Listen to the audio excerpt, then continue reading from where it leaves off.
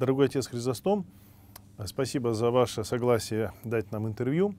Для нас очень важно, что сегодня все более крепнут связи между монашествующими русской церкви и подвижниками Святой горы Афон. И хотелось вам задать несколько вопросов, как о монашеской жизни, о правильном ее настроении, так и о том, как, каким путем духовной жизни идти мирянам. Монашество появляется не с неба, оно возникает из числа тех людей, которые живут в миру. И, естественно, они несут с собой все боли и проблемы нашего современника. На ваш взгляд, какие сегодня проблемы приносят с собой люди, переступая порог монастыря?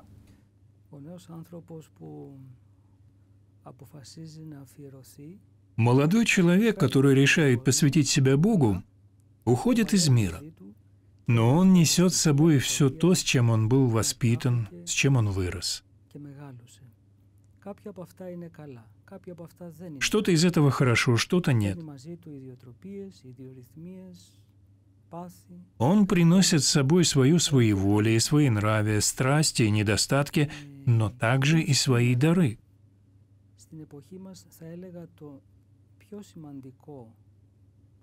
Я бы сказал, что особенно в наше время самая большая проблема – это проблема индивидуализма.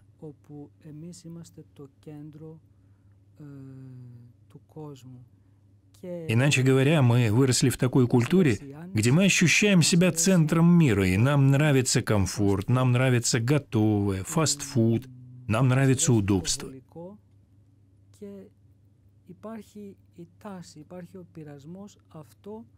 И существует искушение перенести это каким-то образом и в жизнь монашескую.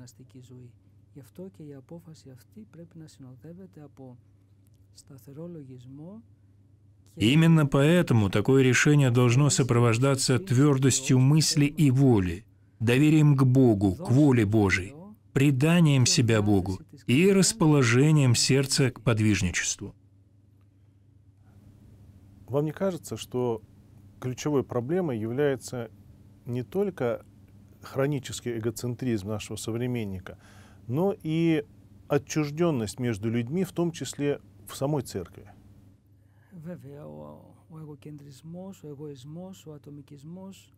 Конечно, эгоцентризм, эгоизм, индивидуализм способствуют разделению. И мы это видим во всем. Раздробленность касается прежде всего нашей личности, происходит внутри нас. Когда я говорю о раздробленности, я имею в виду, что мы хотим одного, а делаем другое, чем хотели бы делать. И другое говорим. В нас есть внутренний конфликт. Наша душа — это поле противоречий.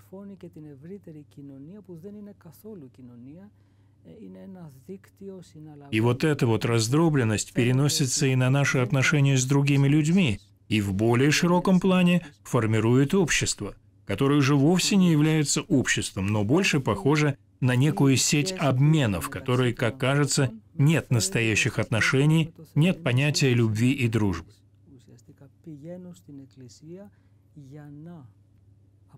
Нынешние отношения между людьми переносятся и на наши отношения с Богом.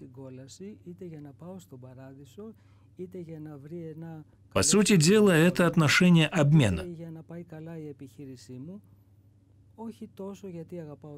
Я прихожу в церковь, чтобы, чтобы что-то получить, чтобы чего-то достичь, чтобы не попасть в ад или чтобы попасть в рай, чтобы моя дочь нашла хорошего супруга или чтобы мое предприятие успешно работало. Но не потому, что я люблю Бога. Старец Паисий Святогорец, который жил в келе нашего монастыря, говорил одну вещь, которая должна звучать несколько печально и огорчительно для современных христиан.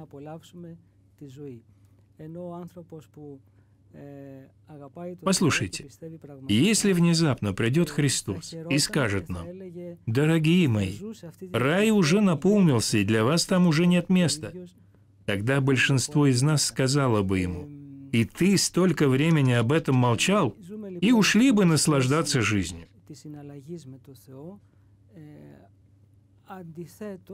Человек, который по-настоящему верит и любит Бога, радовался бы и жил бы этим счастьем, что рай полон, даже если бы он сам туда не попал.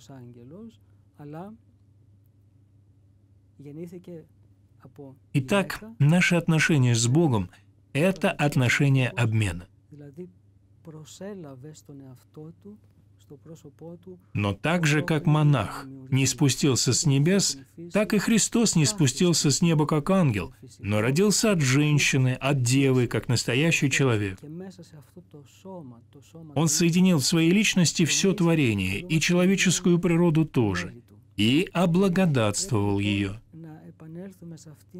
И этого тела, тела самого Христа, мы призваны стать членами.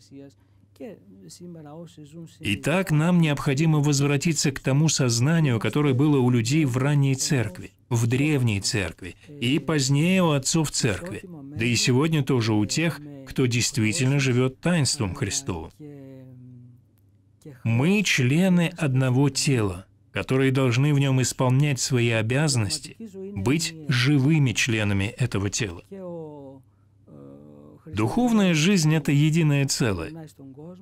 И епископ, и монах в общежительном монастыре, и игумен, и пустынник, живущий в недоступной пустыне, и христианин, который причащается в миру – все мы живем единой духовной жизнью. Все члены одного тела, каждый со своим даром. Если самым главным является внутреннее расположение, которое может сделать добрый резонанс по отношению к приходящей благодати Христа Спасителя, то что самое главное в подготовке к святому причащению?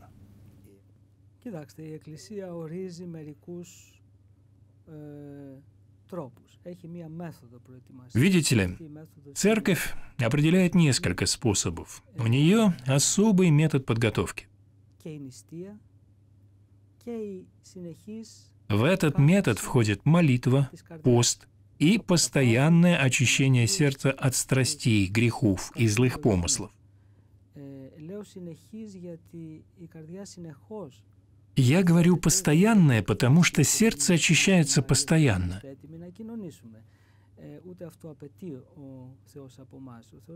Оно не может быть очищено в какой-то конкретный момент, чтобы мы были готовы к причастию. Господь этого и не требует от нас.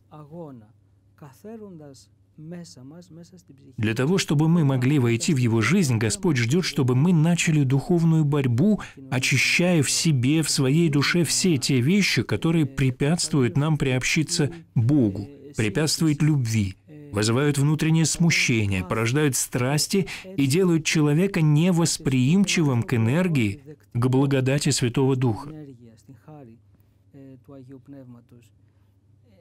Я бы сказал, что в этом отношении нет никакого различия между монахом, живущим в монастыре, и христианином, который живет в миру. Конечно, духовная жизнь монаха более напряженная. Можно сказать, что молитва — его профессия, потому что в этом состоит его жизнь. У христианина есть и другие обязанности, но они не должны препятствовать его молитве и его подготовке к тому, чтобы принять благодать Божию, насколько ему это возможно, насколько это позволяют его условия. Я бы сказал, что вообще, помимо каких-то таких практических вещей, в духовной жизни важно быть правдивым, потому что все идет от этого. Когда я говорю правдивым, я имею в виду, чтобы мы были правдивы в отношении самих себя в первую очередь. И если мы правдивы в отношении самих себя, мы будем правдивы и искренние и перед Богом, и скажем Ему, «Боже мой, вот я какой, возьми осколки моей души и делай с ними, что хочешь». Вот что значит смирение согласно отцам церкви. Смирение — это жить, осознавая правду о самом себе.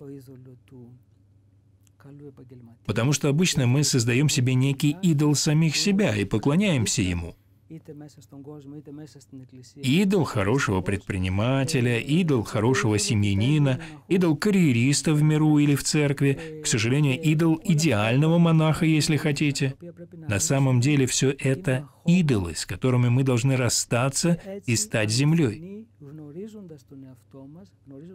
И тогда, зная самих себя, зная свою душу, искренне поставить себя перед Богом и позволить Богу действовать в нас.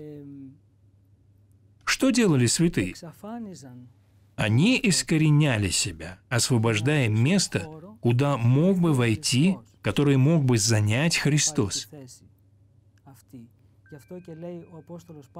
Поэтому апостол Павел говорит, «Уже не я живу, но живет во мне Христос». Мы сейчас заговорили о очень важном вопросе, о молитве.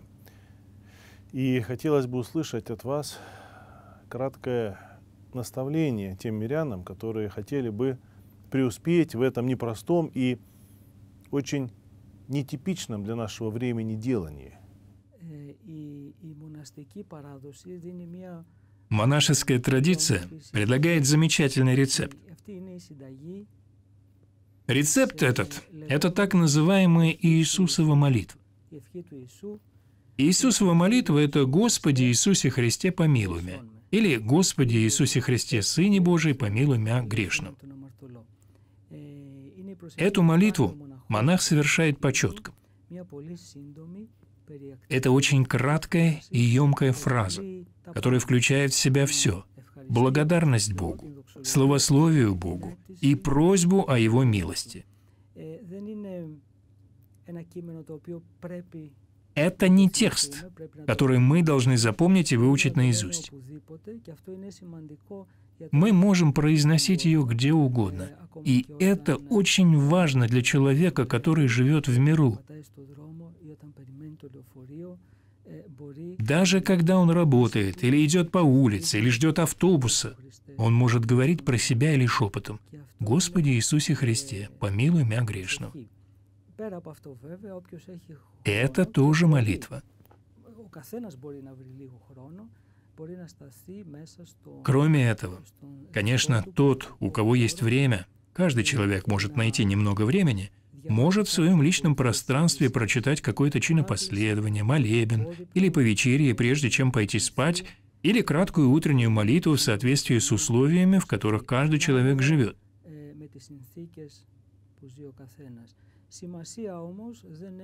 Смысл не в том, какую молитву человек произносит или сколько времени она длится, но в том, как мы уже сказали, чтобы человек был искренен перед самим собой и перед Богом. Другими словами, вы считаете возможным фактически свободное, свободную замену любых форм молитвенного правила Иисусовой молитвой по усмотрению самого молящегося? Я объясню свой вопрос. Часто приходится встречаться с ситуацией, когда люди не первый год, молящиеся в церкви и у себя дома, сталкиваются с привычкой молиться, вычитывая определенные чинопоследования. И для них вычитывание правила является более важным элементом духовной дисциплины, нежели чем прямое общение в молитве с Богом.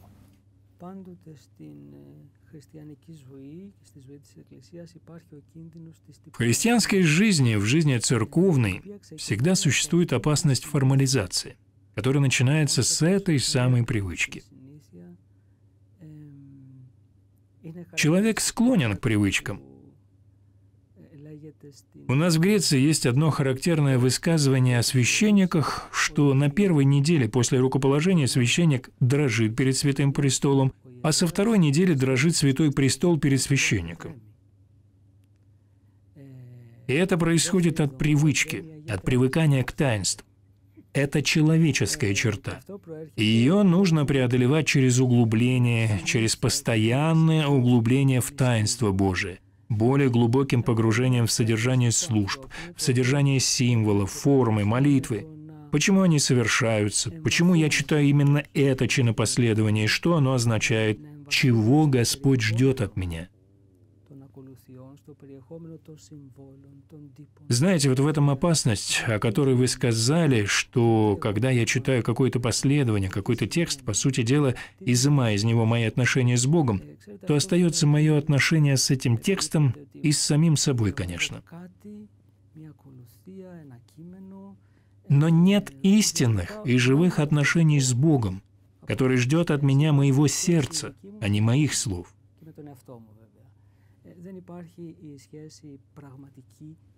Поэтому мы все должны знать, что эта опасность существует для каждого из нас, и что мы подвержены этому. Поэтому мы всегда должны обновлять нашу духовную жизнь и проверять себя, и быть более смиренными.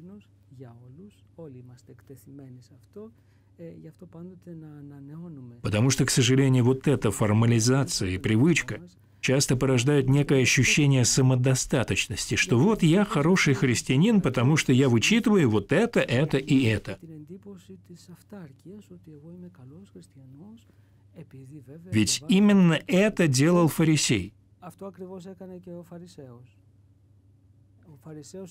Фарисей в притче, мы все помним притчу о мытаре фарисеи, был хорошим христианином своего времени, потому что он действительно творил милость, исполнял волю Божию, не был грешником, поэтому он и мог ощущать вот эту вот самодостаточность и сравнивать себя с мытарем.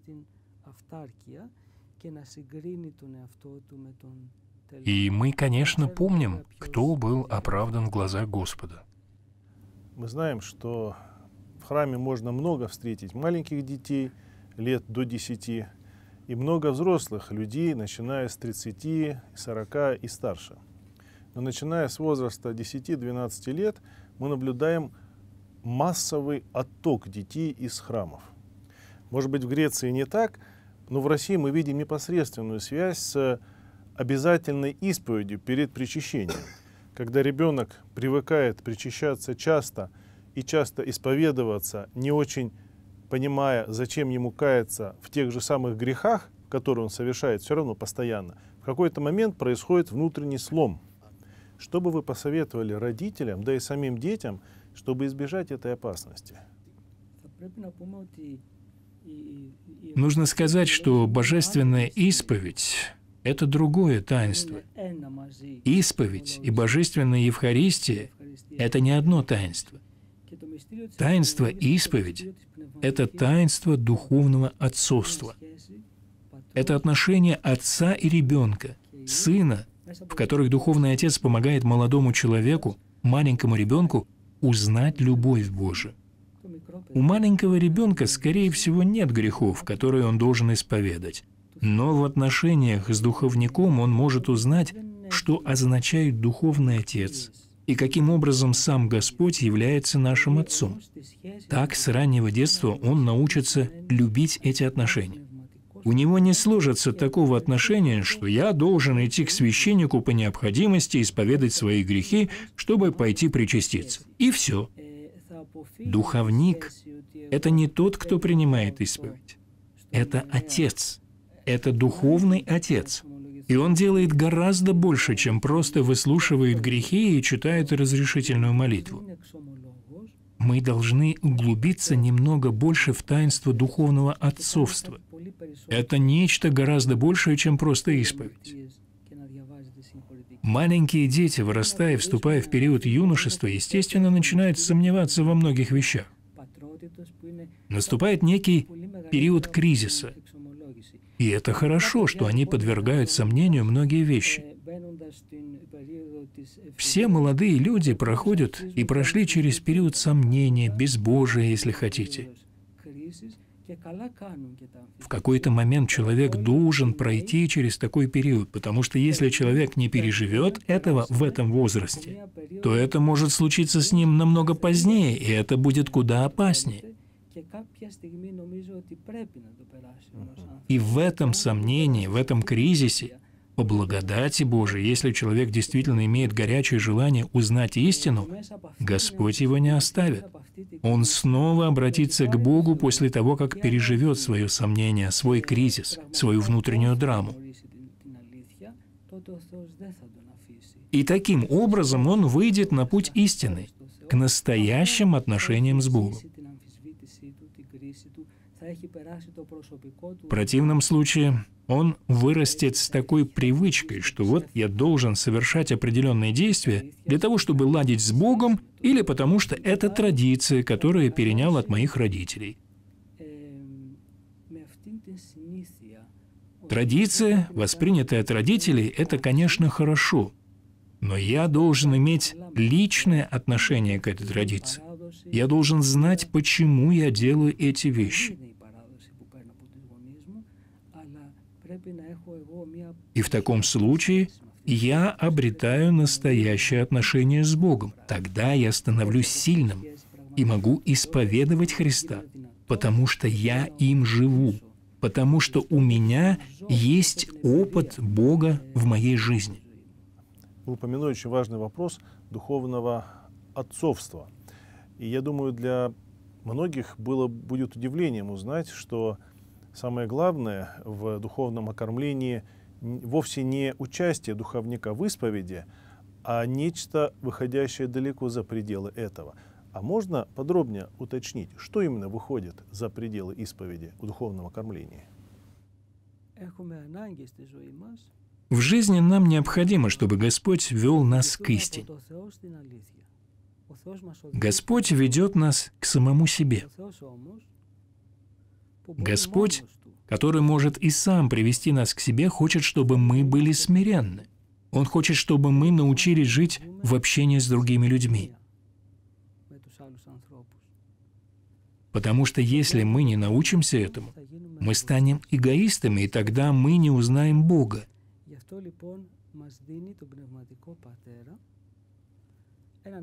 Поэтому Господь дает нам духовного Отца, такого же человека, как мы, который будет идти вместе с нами.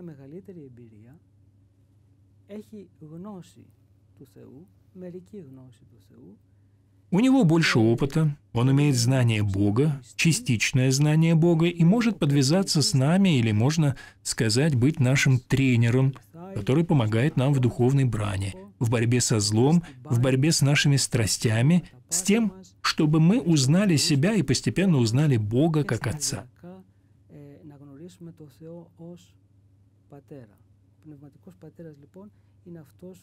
Духовный Отец – тот, кому мы откроем свою душу, то, как мы чувствуем, что мы думаем, каковы наши отношения с самим собой, с нашей душой, с Богом, с другими – и просветит нас, поможет нам осветить пространство нашей души так, чтобы мы постепенно стали преемниками благодати Божией.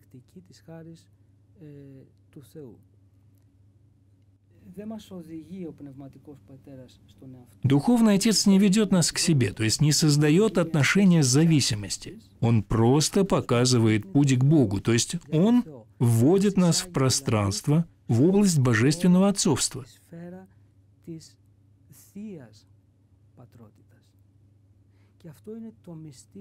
Это таинство, которое передает нам православная традиция, особенно монашеская традиция. Это верно как для монаха, так и для мирянина. Потому что и в миру, и в монастыре у нас есть потребность в духовном отце, в Его помощи, советах и руководстве.